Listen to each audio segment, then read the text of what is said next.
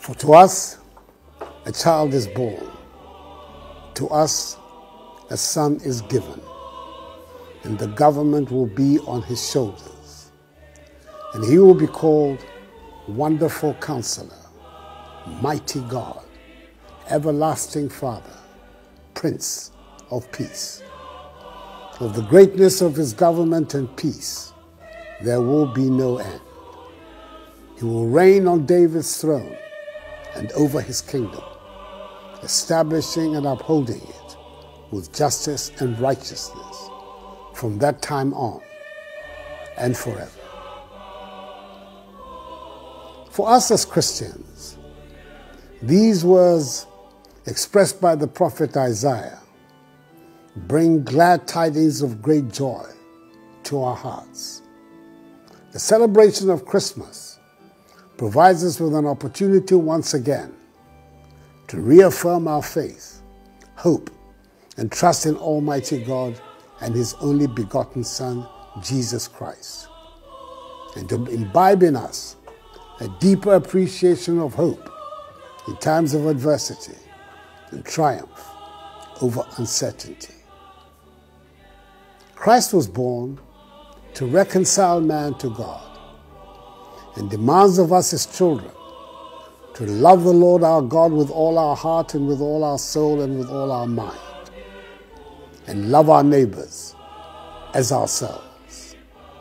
The cardinal principles of Christianity charity, faith, humility, love, and reconciliation should guide us in this festive season and beyond.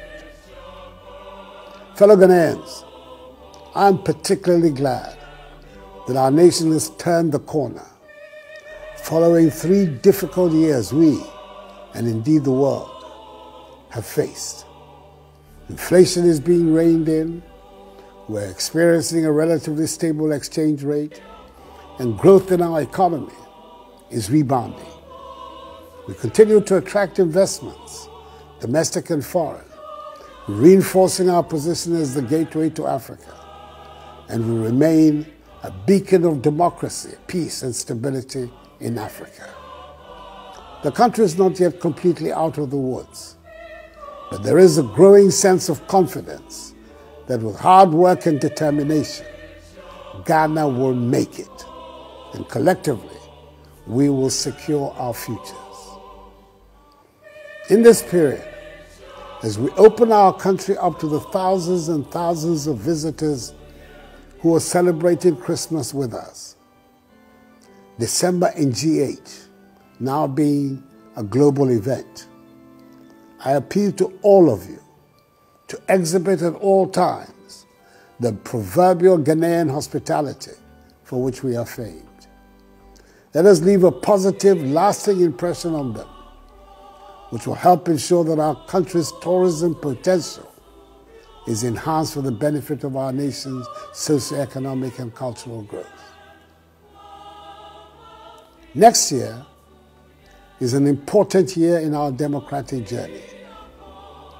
We will hold on 7th December 2024 the ninth general election in the history of the Fourth Republic, which has witnessed the longest period of stable constitutional governance in our entire history.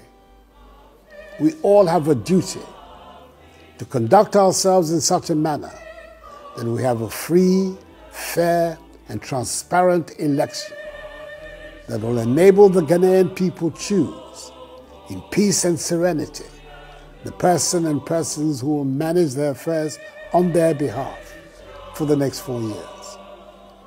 I'm confident that yet again, Ghanaians will rise to the occasion and reinforce the status of Ghana as a bastion of democracy on the African continent. For my part, I will always be grateful to Almighty God and to you, the Ghanaian people, for allowing me to serve you.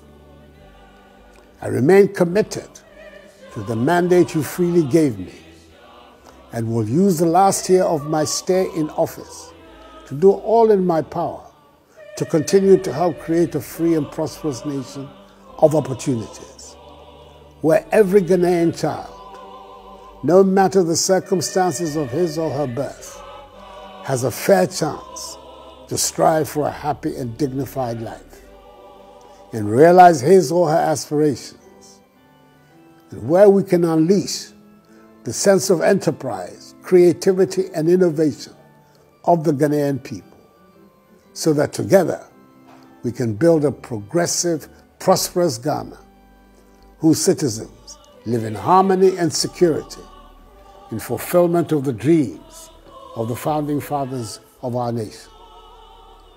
Let us all celebrate the season safely and responsibly.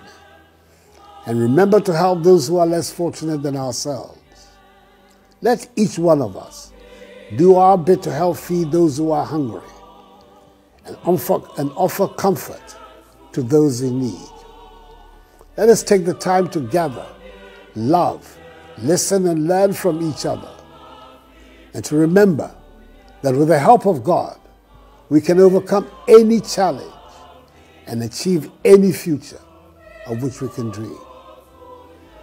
On behalf of the government, my wife Rebecca, the First Lady, my daughters, grandchildren, and family, I extend warmest of greetings of the seasons and best wishes to all Ghanaians for a happy, prosperous new year. May God bless us all in our homeland Ghana and make her great and strong.